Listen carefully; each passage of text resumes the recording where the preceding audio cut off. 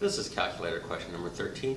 We have a table for the ages of presidents when they first took office, and the question is, of those who were at least 50 years old, that's these presidents, when they first took office, what fractions, what fraction were at least 60 years old?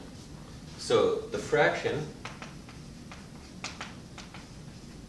is a numerator over a denominator, where the denominator is what I always find first, and that's of all individuals you could choose.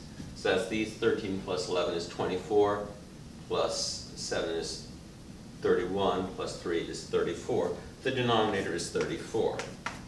All individuals who were at least 50 is 34 presidents. Now, of those, what fraction were at least 60?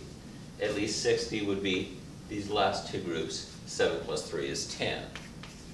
I always find my denominator first because the numerator can only be individuals who are counted for the denominator. Often they'll ask this question with a table with multiple columns. You have to figure out which rows or columns, or perhaps the entire table, is included. But in this case, it's a little simpler, but it's still the same process. The answer is 10 out of 34, and they're nice enough not to make us simplify it, so that would be choice A. Come back soon for my next video. With math, there's always more.